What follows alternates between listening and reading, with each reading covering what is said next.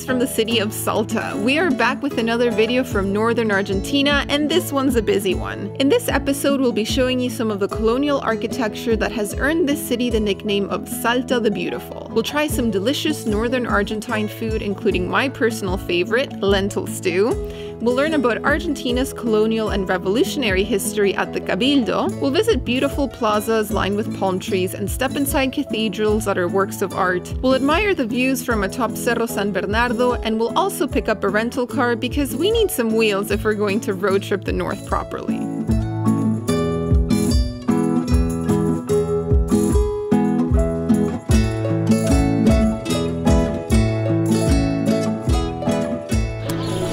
Good morning, good morning, guys, and welcome to Salta, Salta la Linda, Salta the Beautiful. We have arrived here in the city. Today is our first full day here, so the plan is to just explore the downtown core. They have a lot of colonial buildings, churches, basilicas, museums. It's all colonial, you know, this dates back to the uh, to the days of the Spanish uh, colonizers, you know, and the architecture is just beautiful. So yeah, we're gonna go visit a couple of museums. That's the plan today, to visit the core of the city. Sounds so good. let's go discovering a little bit, okay? Let's Do it.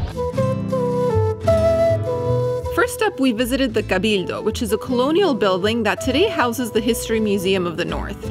It's located on the south end of the main square and it's easy to spot with its white arches. This is a good place to learn about Argentina's colonial and revolutionary past.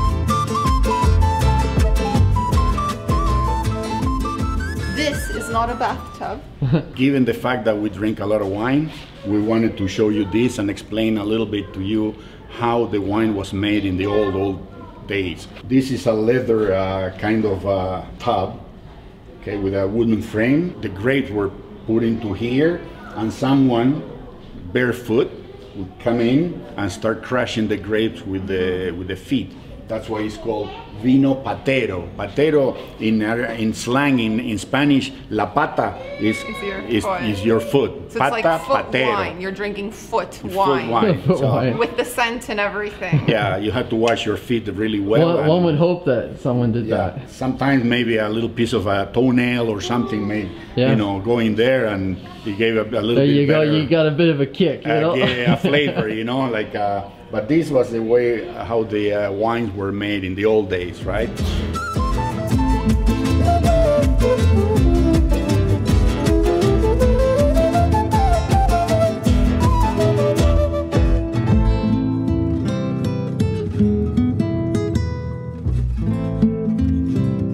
Now, time for a little history lesson from my dad, Daniel. Here we are at the Cabildo, who was the main building uh, in the day, you know, like the day of the uh, colony. And this, this area here in Salta, a little bit of history, when Argentina uh, declared independence and they try to break uh, uh, ties with Spain, this is the, the places where they try to, to do it. Spain was uh, very strong in this area where that was called the Alto Peru, which is today's uh, Bolivia. So the first attempts to beat the Spanish armies were made through northern Argentina going into Alto Peru or Bolivia. But the strength of the Spaniards in this area was so strong that it was almost impossible. They were advancing and fighting and capturing maybe one small location and then sometime after the Spaniards will uh, counter-attack and they'll lose it and it was pushing and back and pushing and back and fighting and, and, and dying, you know. So when this route proved uh, impossible, that's when San Martin, the, the great liberator, decided to go across the Andes with his army and first uh, liberate Chile and then by sea they went all the way on to uh, liberate uh, Peru. At one point, the Spaniards were pushing south, and they were so strong in the province of Jujuy, the next province north of here, that it was decided it was called the Big uh, Jujuy Exodus. So they decided to leave nothing behind for the Spaniards, and Jujuy was totally uh, erased. Like anything that could be carried away was carried away, and the rest was burned, burned to you know charred uh, land. You know, this country, uh, this area of the world, we don't have Hollywood here, so the history is not very well known through the world, maybe. But if you really like the, this type of uh, history about uh, liberation and independence, and you can find books and read about uh, what happened in this area, it uh, you'll be surprised, you know. Sometimes I think I'm standing here in the Cabildo in Salta, and I wonder, you know, how many people in those days must have been here in the same spot talking to the uh, to the people and encouraging them to keep on fighting and keep on with the struggle and uh, it's it's pure history here you know so Yeah. that's the part that I like when I come to these places you know to you know kind of It's like you're stepping back in time. take a, a step back in time and, and, and position yourself in those days, but in modern times, like here, you know, what must have happened from this balcony, you know, like 200 years ago, right?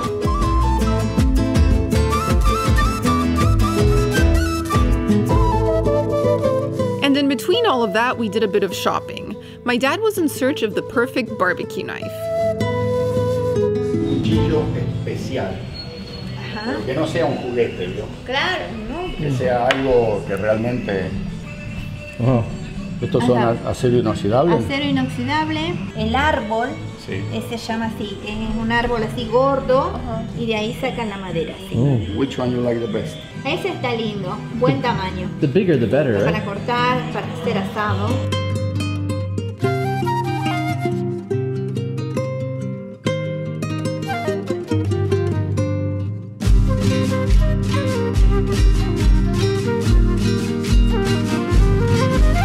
Was time for food. We grabbed lunch in the center of town at a restaurant called Doña Salta, which specializes in authentic northern cuisine. It is lunchtime. Today we're eating at a place called Doña Salta. They specialize in regional northern food, so that's exactly what we've ordered. I've got to tell you, it's a long wait to be seated and a long wait for the food to come out, but I hope it'll be good. The empanadas are now here. Yeah. One thing though, you're gonna be sure that it's fresh Yeah. Fresh. because it's, the place is packed. Yeah. Yeah, so the food has arrived. I'm gonna let my dad start first. I'm hitting the empanada, the cheese empanada. Very good. They're small, but excellent. And then I have the humita. I have another empanada beef, and we have a salad. And you have And we have fries too. We have Yeah. fries. Those came with Sam's steak. I'm having a lentil stew with bacon. It is so good, guys. What does it taste like? It's just like hearty and salty. Ooh, there's sausage in here too, spicy red sausage. It's the kind of dish you'd want to have on a cold day, but I like Which it, lentils which, so much. which it isn't. by it the isn't, way. but I like lentils so much that I'm eating it today in the heat. Amazing. Great food here and it's worth the wait, I'd say, huh? Oh yeah. Yeah. Okay, how is that steak? Oh man, it looks so good. Bife de chorizo, one of the best cuts in Argentina. Oh, a lot of people think that you can only get a good steak in Buenos Aires, but Salta has a really underrated parrilla scene here. I've been here before. I've had some of the best steak in the whole country, right in this city. We also got dessert in the form of this multi-layered cake with sticky meringue, dulce de leche, and chopped walnuts. It was just as good as it looks.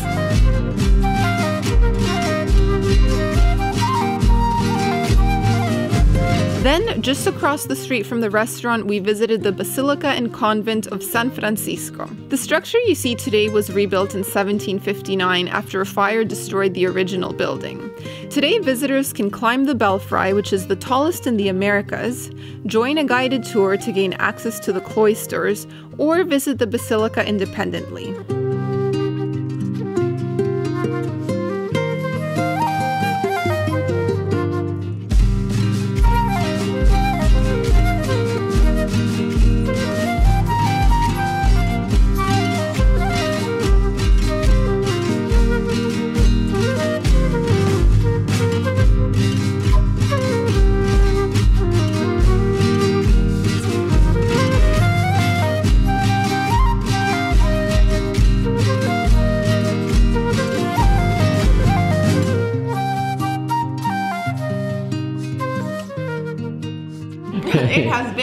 Hours. We're back in the apartment. Dark right out. now, we are eating our dinner. We're having a little picada. But we wanted to talk about this afternoon a bit.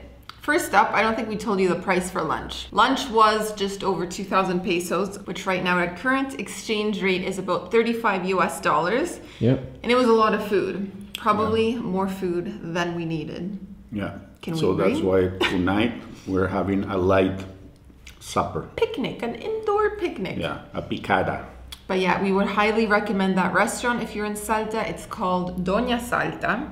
Gotta go there early because it's very popular and they specialize in regional foods. Yeah. So then after that, we visited an attraction right across the street from the restaurant, the Church of San Francisco, Yeah. St. Francis. It's beautiful outside and inside. It's I would say that's probably the most impressive church in the whole city. And you can take guided tours and you can also go up the bell tower. We just visited the interior quickly on our own. So, anyways, yeah, we got a picada. I got a beer, a Salta Salta Negra beer, which is a water. stout. yeah, and uh, yeah, we're just gonna have a little snack. And tomorrow uh, we're picking up a car. I don't think we're gonna take it anywhere. I think we're gonna spend another day in Salta. There's more stuff to do here, but uh, the road trip part of the north starts very soon. Coming soon. So stay tuned for that.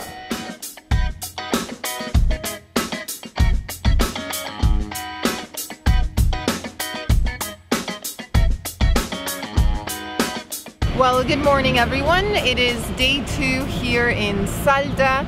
Today, the plan is to also spend some time exploring the city on foot. We found a nearby square. This is Yeah. very nice. Very nice, beautiful construction again, very colonial. A lot of uh, trees that uh, are blooming. Mm-hmm. It seems like uh, in this city everything blooms. You know, even the biggest trees uh, you see, they have flowers. Beautiful walking weather. Oh, It's yeah. beautiful walking weather. It's not uh, scorching hot. We should also mention that we're picking up a car soon. Yes. And we're gonna show we'll show that whole process. We're gonna be uh, basically taking a cab to the airport, Yeah. renting a car, which we're gonna have for over a week, and Mm-hmm. it's gonna allow us to do a lot of uh, really cool things further north than Salta.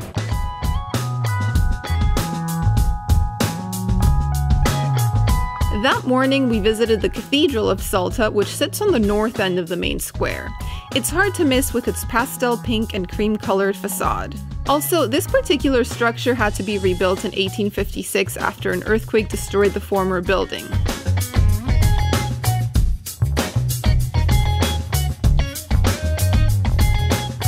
We had a nice visit, and then it was time to go pick up the rental car. Update. Update! We are back in the apartment. We had a successful mission picking up the rental vehicle. But oh my, driving in Salta. Ooh, it'll shake your nerves. I wasn't even driving. I was the passenger. I was the navigator with my GPS, like turn here, go there. Oh. Yeah, and the, the thing is, there's so many intersections that don't have stoplights, and so it's just you're supposed to. The vehicles on the right. the right. The people on the right go first, but like sometimes people just keep going and they don't stop, and there's no stop signs.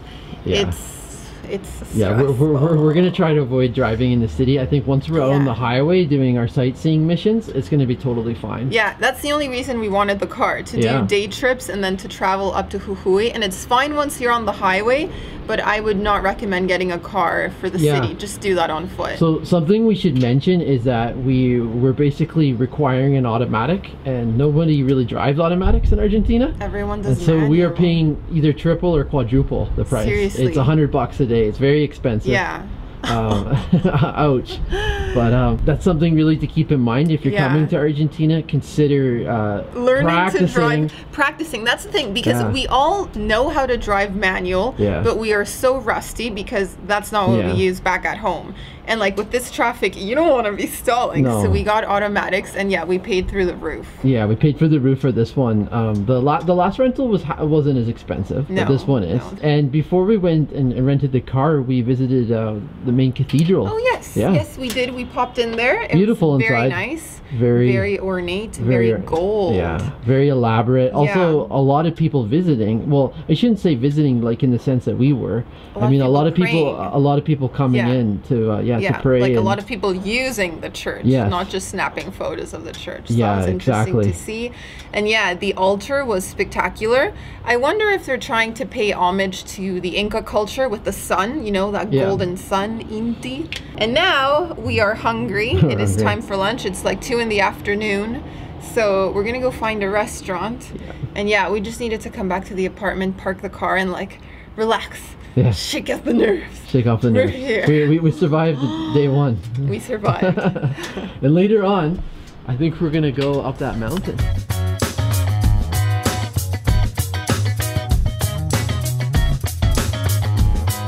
And then it was time for another lunch in the city. This time around, we opted for steaks and pasta. We've arrived at the steakhouse. Cheers. Cheers. Cheers.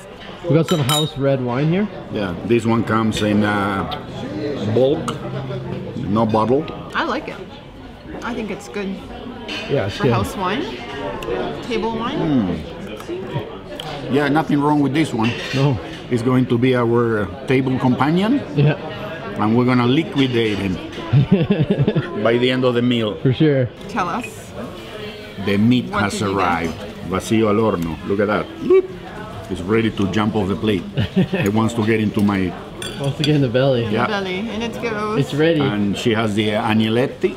It's a pasta stuffed with ricotta, ham, walnuts, and it has a cream sauce. It's very tasty. Yum yum. Mangia bellezza, mangia bene. We're doing the Godfather over here. Huh? Guarda questa qua, mi piace assai questa qua. And you got the you got the matambre, Yeah, over here. yeah, with a little bit of wine. Yeah. That's all we need today, you know. But This is the meal of the day. this is the meal of the day. All right, so Sam is having a meat pizza. Best way to describe it. Oh, whoops. Dude. Oh, that was a close call, and they've given me a, a real knife. Look at look at this knife compared to the normal table knife. A big boy It's a knife. big boy knife. Don't touch yourself. Operate with care. So yeah, we were saying this is a, a thin slice of meat. On top we've got cheese and tomato. This actually reminds me a bit of how you have a Milanese sometimes here in Oh yeah, country. the Napolitana. The Napolitana style. Yeah. But this isn't veal, it's a cut of beef. Thin beef. Oh man. Mmm, that's delicious. I'm really happy with that. It's gonna be a really good lunch. The perfect size. I'll definitely be full, but maybe have a little room for dessert too. Oh. You know? Limoncello. Limoncello. Oh, gracias. This is a sweet made with a Sweet potato. sweet potato, and the other one is cream cheese. You eat it together, right? And you got the sweetness and the other one that is the saltiness, right? It- it's a beautiful combination. But who's gonna have all this? Let me try it. We hmm.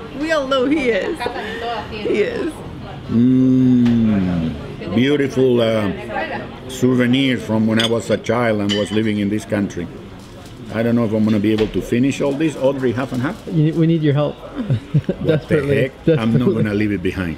No way. No way. I'm going for it. We're going for it. Oh, we'll have we have limoncellos. And they brought us Salud. limoncello, Cheers.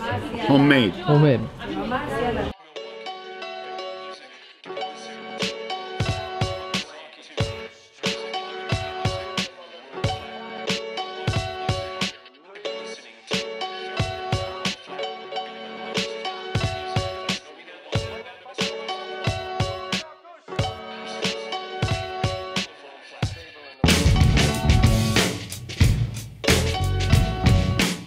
Afternoon, we visited Cerro San Bernardo, which is a hill overlooking the city of Salta.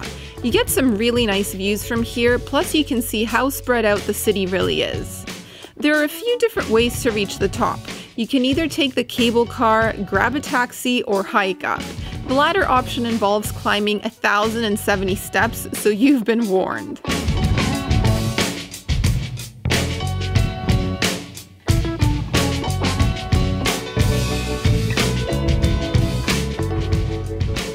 What is happening? We're back. So what, what happened was basically we, we finished our meal and then complimentary limoncellos, which were like uh, the aperitivo of the at the end of the meal. Three of them. Digestif.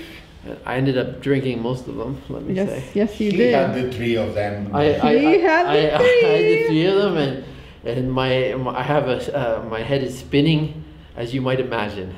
It's siesta time. It's siesta time. Ding ding ding ding. So then after that lunch, Yeah. we got in a cab and rode the taxi up to Cerro San Bernardo. oh, we went all the way up there. We had a very nice uh, taxi driver. Yeah. We he waited for us all the way up there, and he brought us back down. Oh my gosh, like S- Salta, you really get a, a perspective of Salta from up there. Nice- you nice city. You see the downtown, obviously, but you also see how much the city sprawls. For our last day in Salta, we decided to make use of the rental car and go on a little day trip. The town of Chicoana, located about one hour south of Salta, caught our attention, so we headed out to the countryside. Well, good morning, everyone, and welcome to the town of Chicoana here in the province of Salta. Today, we decided to do an easier day trip, a closer day trip. We only drove one hour south of Salta capital, and we've arrived in this beautiful little town. Sleepy town. Sleepy colonial town. Yeah, we're in the middle in the square. Yeah. You know, all these towns here, they have a, a square, huh? Mm-hmm. That's the center. And uh, beautiful trees, a lot of colonial houses, and a lot of them are made out of adobe. Mm-hmm. That's the mud, you know. There is a dog there, there laying on the grass under the bench. Uh, typical, typical. You cannot miss.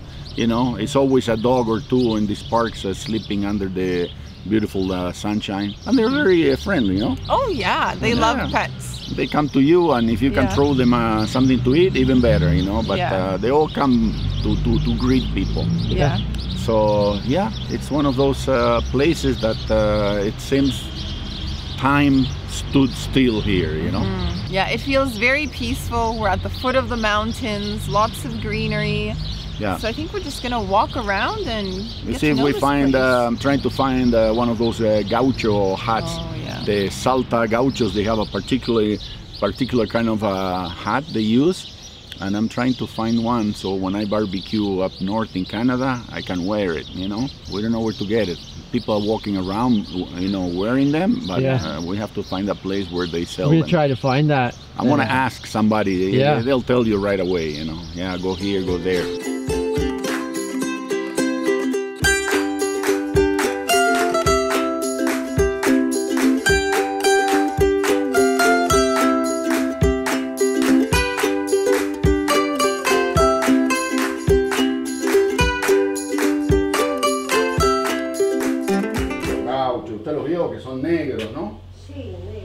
Se bastan aquí abajo, así, Claro, sí. con una cinta. Claro. ¿Habría algún lugar por aquí cerca? Mm, A ver, ¿dónde puede ser? Ahí la panadería, digo, la librería al lado de la iglesia, hay una librería. Sí. Ahí saben vender artesanías. Ahí pueden tener artesanías. Sí. Ok, vamos a dar una vuelta entonces. Después sí, los de gaucho venden en carril. En carril. Sí, ahí a la entrada de aquí, de Chicuana, ahí el carril, Sí, ahí en la esquinita, sí. hay un hotel, no sé qué, al lado venden todo de gaucho. Todo tipo de esas cosas. Sí. Me voy a probar el sombrero, señora. Bueno. ¿Ah? Oh. ¿Cómo va? ¿Me lo llevo a Canadá para hacer asado por allá? ¿Ah? ¿Qué tal? ¿Qué dice? bien. ¿No tiene uno que Bien. tenga correa? ¿Estos no tienen correa para agarrarlos aquí? Es que lo, ¿cómo se llama? Eso estaba, no sé dónde lo dejaron, pero ese va aparte. El Ah, ¿va sombrero aparte? nomás, sí. ¿El sombrero va solo?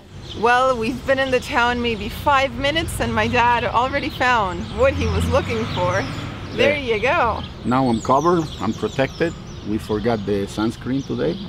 So I, I don't want to have a, a tomato for a nose after at the end of the day. Plus, So- you want to look stylish. Yeah. It's Yeah. not just about the tomato and on on the top nose. of that, now when we barbecue in Canada, Argentinian style, Yeah. I can wear my uh, salta hat. What do you think? Oh, That's all I need now is the lasso. okay.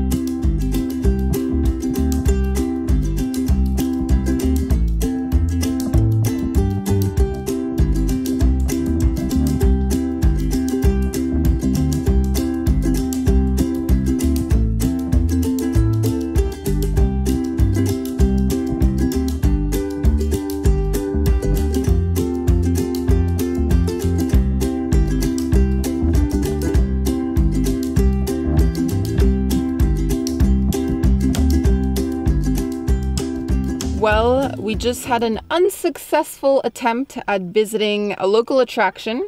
It's called Quebrada de Tilian, and it's kind of like a canyon with a waterfall and a stream. It looks really nice in photos, but as it turns out, it's on private property, and right now they're not giving visitors access. Like there's signs saying it's closed until further notice. So that's disappointing.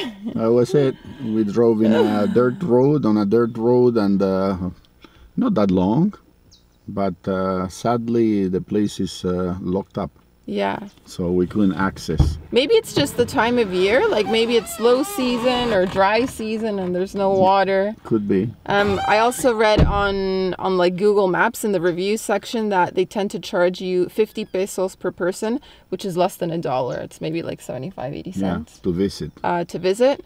So yeah, if you find yourself in this area, you're probably gonna have to drive out here and, and find out if it's open or not. But it's not too far outside of town. It's a rural uh, area, you know. Yeah, like, lots mean, of farms, old farmland, and you see a lot of uh, sheep. goats and sheep and uh, horses, and you have the guys working on the fields with the tractors, and they are planting. So, yeah, it's a nice ride. I was thinking that we made a mistake of not buying some bread and cheese and salami, and having a like a picnic, you know. Yeah, a picnic in the countryside. That would have been nice. That would have been beautiful.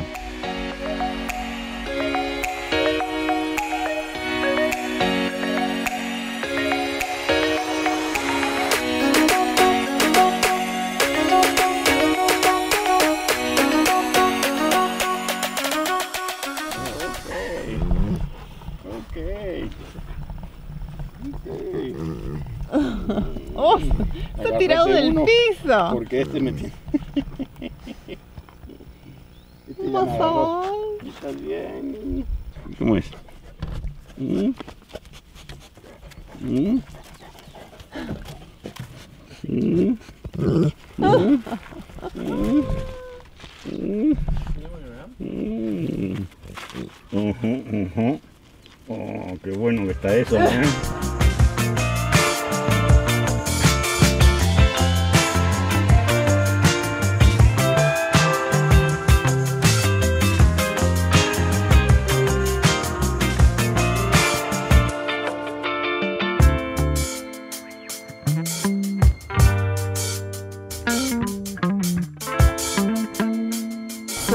Lunchtime and we've just ordered a little appetizer to share.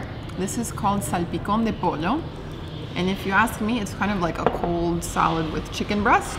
It's simple, but it's nice to be getting some And, uh, vegetables. there's a bit of a limited menu here, so we're just having milanesas. They didn't have the Yeah. regional dishes available today, and I'll have an empanada coming. So yeah, food will be here in a bit. If all three plates look the same, that's because they are.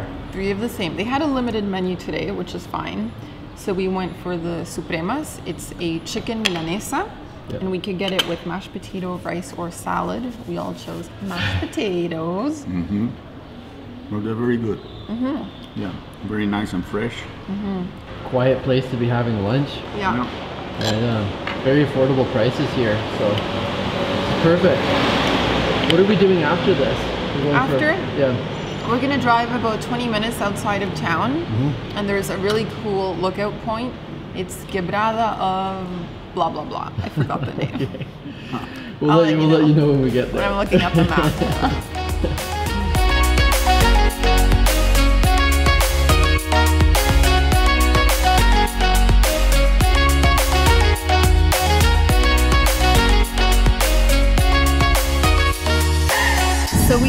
back in the car and continuing our drive next up to Quebrada de Escoipe, which is about 20 minutes outside of town.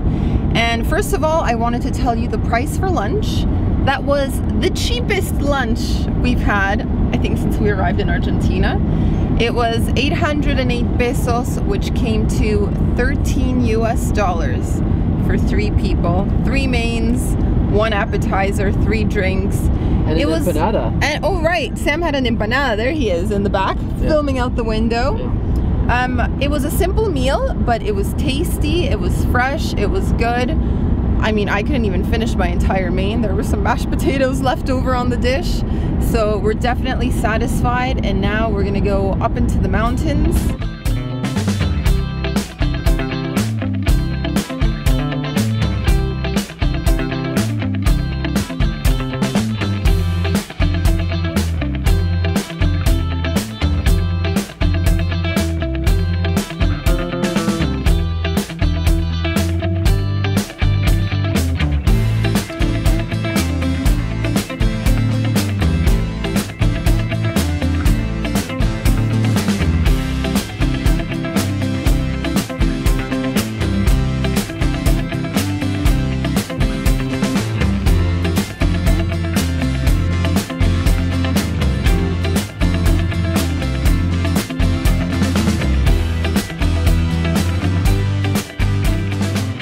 Yeah, today's been awesome. I mean, last night you weren't feeling well, and so we weren't even sure if we were going to do anything catchy. It was going to be way too long of a day trip, and so today we've just pieced together this kind of like uh, patchwork itinerary, and it's been awesome. It's been so much fun going to little towns, driving on these uh, sleepy countryside roads, and there's hardly anyone here. It's been great. The weather's been so nice. It's just been a pleasant day. Yeah, and if we were to continue on this road, like there's a mountain pass that Mm-hmm. reaches 4,000 meters. Oh man, Oh my, we've done it Oh. before. yeah, we have. Probably not today. We're just gonna take Not it easy. today. And tomorrow, we're gonna be doing more driving. Are you pumped for that? Yeah, it's going to be really cool to go up to Jujuy. Um, something to keep in mind, guys, there's a lot of day trips from Salta, but you end up driving three hours there, three hours back, plus maybe even more driving. If you actually go and base yourselves up there, like what we're doing, we're going to Tilcara.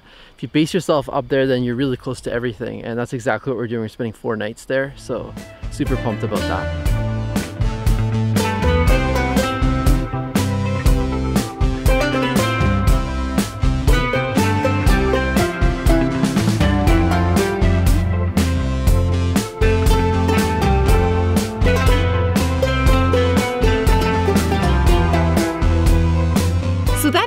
Taste of our time in and around Salta. We hope you guys enjoyed exploring this part of the country with us, and if so, we invite you to hit that subscribe button and join us as we head even further north. Next up is the province of Jujuy.